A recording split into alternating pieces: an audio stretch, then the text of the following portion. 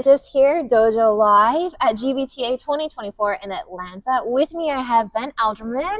Hi, Ben. Thanks so much for having me, Kim. Of Conferma. Did I say that right? You said it right. Conferma, yes, that's it. Yes, perfect. So, first of all, thank you so much for taking your time out of this busy day, this busy conference to No join us here on the show. You know, Ben, real quick, what is this? Is your GBTA number? Two. Number two. And how long has it been, or what brought you back to 2024? It's been six years. The last time here, I'm pretty certain was 2018. So, it's so there was a little COVID while. break. there was a bit of a COVID break, yeah. And, uh, and, you know, I didn't come when I was based in the UK, but now being here, I'm very excited to be uh, to be back here for GBTA 24. All right. And anything in particular that brought you here? Yeah, uh, i i transparency. Like uh, you know, I started my new role with Conferma in uh, November of this year. Um, and travel and business travel is at the core of what we do. So, what better place to be than GBTA to meet with existing partners, new partners, and everyone else and learn about the latest and greatest in business travel. Absolutely. So you've got over a decade, right, of experience in Yeah. this space, and it's this fun mashup of fintech with travel hospitality. Tech. Yeah, yeah. So tell us a little bit about your journey uh, and this passion and, and the Ben story. Yeah, uh, I'll try not to show uh, how long I've been around too specifically, but thanks for pointing that out. Over a That's decade, Over a decade, yeah. there. Over a decade is great. I'll take that.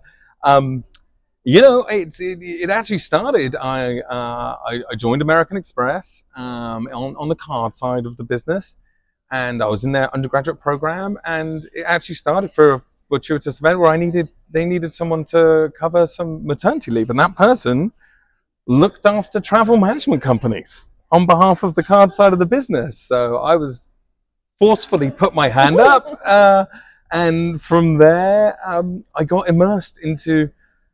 I was always interested in the finance side, and that's how I ended up where I ended up at, a, at obviously at a financial services company. But that immersed me very early into my career into travel management and specifically the payment side of travel management, which um, Which I- probably isn't usually the most fun side for most people. You know what? It's it's super interesting because uh, it's definitely complex and the most interesting to people like me. But I especially have some bias, obviously, because that's but yeah, that's that that's how my, that's how my journey began, and that journey is But, uh, but you know, in the main stage speaker today, I think he said something. Excuse the interruption, but he said something about the best people like the challenge, and the people who don't like the challenge are the lazy ones. So I guess that means I'll take that. he's the I'll take best, that. and I'm the lazy. yeah, I, I, I'll take that. That was that was not intentional, but I, I guess I laid that one up to be here. So I'll own that's, it, I'll that's own great. it. That's great. Yeah, and then from there, I, I spent um, around a decade at American Express in various different roles, and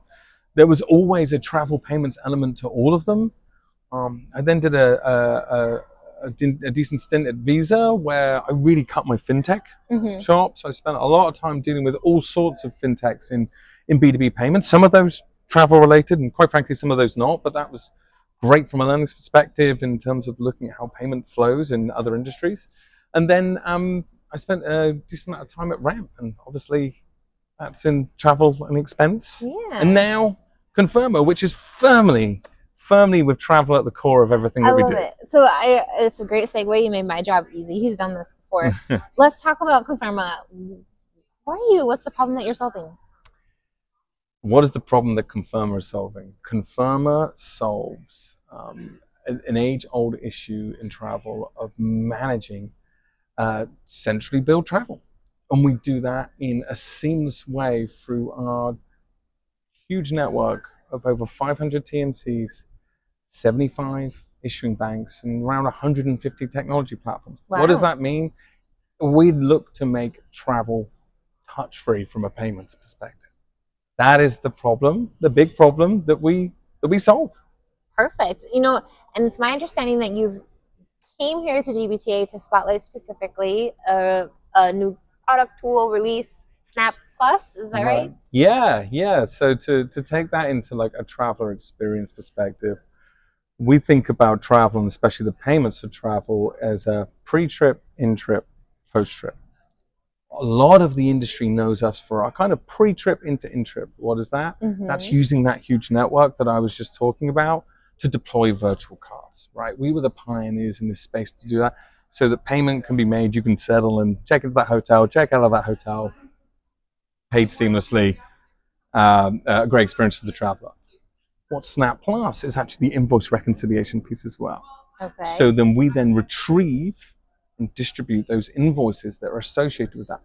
Sometimes for some travelers, that's very, very simple. But in complex use cases, especially things like guest travel, retrieving those invoices can be a real burden for both Mhm. TMCs and for corporates.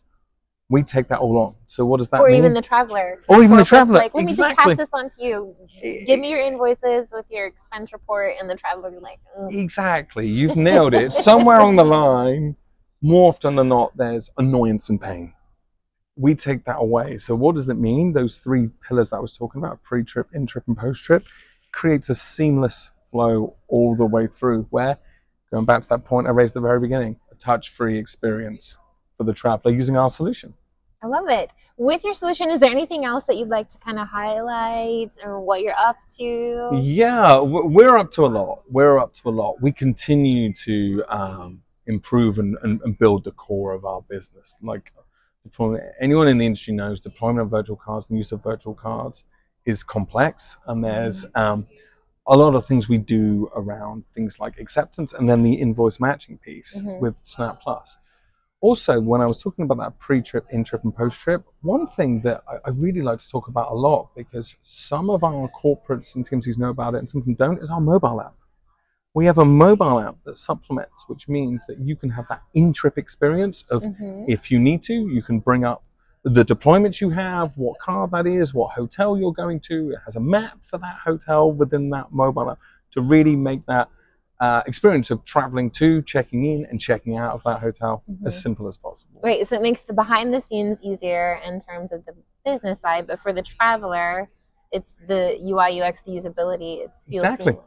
Exactly, exactly. And our mobile app is something that we we we talk about a lot, but can never talk about enough in terms of making that experience seamless. Not only to your point Mhm. for um, travel managers and for finance teams, also for the traveler themselves. It's a really really important piece.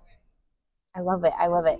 So I don't think I've asked you this yet, but we're at the final sort of hour, hour two, maybe, of yeah. the conference. Yeah, Yeah. What, if everything you've heard, seen, talked about um, here, what would be sort of one of your biggest takeaways about the conference or just the industry Yeah. as a whole? What do my- people need to I- know? I'm I'm gonna I'm gonna try and uh, take my payments hat off and not show too much bias here to what gets me excited to commit to what the themes. But um, the theme for me is a presiding theme over. We seem to be making a bit of a quantum leap in technology now. That seems a bit lazy, but if I use examples, NDC is finally getting somewhere we are looking at there's been a lot of conversations in this conference around AI. I still think we have a way to go, but the application of AI in our industry is nearly boundless for me. But I love the fact that the industry is taking steps to protect travelers, corporates, security and safety, especially of Mhm. data is primary first. Um, and then thirdly, another part of technology, you're suddenly seeing multiple partners bring together travel and expense again. It's funny, travel and expense was together decades ago and kind of got split apart. Hmm. We're really seeing travel and expense come back together again. Now that's my bias one because this is what we do, where, where we think about travel and expense being one unified, simple solution. Um, I, I firmly believe in uh, a rising tide lifts all ships, and that the fact that the whole industry is thinking about these multiple facets of technology now is. I really think we're going to see a quantum leap forward in in a traveler's experience. Is there a, a technology gap that you think exists? What's the biggest gap that you see in the industry, and what should we be prioritizing to make the business traveler experience even better? Yeah, yeah. The, the, so, the, like I said, there's been um, there has been some great progress, and you can see some things. But the the, the biggest gap I see from my perspective is that piece that I was talking about before, which is across the board, eliminating expenses. We spoke about this briefly before we were we were talking here. the elimination of expenses by having a truly un, um, united and uniform program is something that every single traveler is crying out for. We're starting to see this, and you're starting to see it in point solutions, doing that in open networks Mhm. where clients can use, corporates and travelers can use the platforms they want to use across financial services, across booking tools, across their TMCs, across the source of uh, inventory that they want to use Mhm. is, I think, one of the biggest things we can solve in business travel because it's one of the biggest pain points. People hate expenses. Yep. They hate them. So Yep. being able to create uh, technologies and, and tie them up that tie up with company policy and has the controls that it needs and sends people down the right channels, but then eliminate all of those dead hours people spend the fourth Friday of every month generally is is uh, is still um, uh, a gap we can overcome. But it seems Right. foreseeable. It, it, Yeah. it's there. It's not like intangible. And, and it's funny, I'm listening to you, and maybe this is going to sound really smart or really naive on my behalf, but I was in a talk earlier today that had to do with sustainability, Mhm. not what we're talking about right now, but in how the regulations and the reporting and companies, the travel managers are now having to worry about that, figure out how they're going to do it, and the simple reports they used to get aren't good enough. Uh, and so what I'm hearing is we build out technology I think that might work on the expense side could still have you know the same build, the same flow from like the reporting side and others, Yeah. just to make that seamless sort of unified Yeah. one touch. And Like, sustainability should be should be part of that, right? And sustainability flows right the way from booking to post trip. mhm, You know, so I think sustainability being a, a core theme within GBTA, which it has been for a while. and how to keep industry. it more make the sustainable choice, but have it also be the smart financial choice. Correct, correct, and and and that comes from um, data and openness. Yep. Right. That's it's where it all comes from. It comes from, but it's not just Which is maybe data. one of those big technology gaps that really know. Yeah, yeah, yeah, yeah. but it's it's it's it's the it's the age old meme of the diagram of Lego of how you organize data. Mhm. The data's there in a big old pile. We need to be able to simply present it to people. Yep. I love it. I love it. So, final question as we wrap up today the future of business travel. What's that for you in, in one word? Oh my gosh, the future of business travel in one word. Um, It can be two or three. yeah, yeah, yeah. I'm gonna say seamless. Seamless. Okay. Seamless. All right. You Yeah. want to elaborate a bit, or you want to? Yeah, I'm thinking just uh, the the end to end experience of business travel being a frictionless process where we continue to move towards consumer grade experiences that are just seamless and you're not having to go back and forth to understand policy to understand where you can and uh, can and can't use your payment credential how you reconcile and bring all that into the expense side of it like right from booking simple booking simple travel and then simple settlement is seamless. I love it. Seamless. All right. Well, Ben, thank you so much. I would wish you a Thank you great so rest much, of your Kim. GBTA, but we've kind of come to an end. But uh, thank you so much for your time, and hopefully we'll talk to you again soon. Thanks, Kim. Bye for now.